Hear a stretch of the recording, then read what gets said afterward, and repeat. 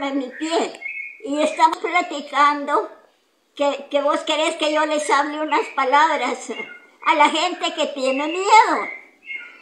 No, mijita. No, no, no hay que tener miedo con la justicia de Dios, porque los males vienen y, y si Dios no nos llama todavía, la enfermedad no nos llega. Hay que estar agarrado de la mano de Dios. Hay que estar pidiendo al Señor su sanidad divina para que así esta peste vaya pasando, vaya pasando. Date cuenta, mi cuántos años tengo yo. Han pasado pestes, han pasado grandes enfermedades, pero a mí no me ha tocado ni una sola vez una fiebre de esas. No, mijita, si Cristo está conmigo, dice estas palabras, ¿verdad? Si Cristo está conmigo, ¿y quién contra mí? Decirle a la gente que tiene miedo, que a la justicia de Dios no se le tiene miedo, porque estos males, así como vienen, así se van. Y si Dios está con nosotros, hay que buscar de Dios. Hay que buscar de Dios, mija. Así decirle a la gente, si hay alguien que a mí me escucha, decirles que hay que buscar de Dios para estar seguro.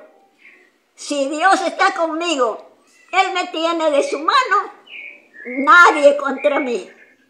Así decirles, mamita, que no, no, no tengan miedo.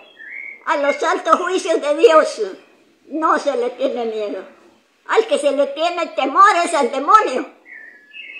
Pero el demonio, donde está Dios, Él no penetra. Él no nos busca. Él se retira. Así es, mi que a la gente que te platique o que vos puedas hablarles, decirles que mi mamá tiene 96 años, decirle, y una enfermedad de peste no le ha tocado porque yo tengo la fe en mi corazón que Cristo es el que nos salva de toda peste, de toda peste, mamita. Eh, y yo te dijeron unas palabras, pero no sé si me las escuchas todavía, que son palabras que dicen, oh mi Dios, oh mi Dios omnipotente, cuya soberana providencia que todo lo gobierna. Dignate a visitar esta casa. Manda tus ángeles custodios. Cuide a los que habitamos en ella.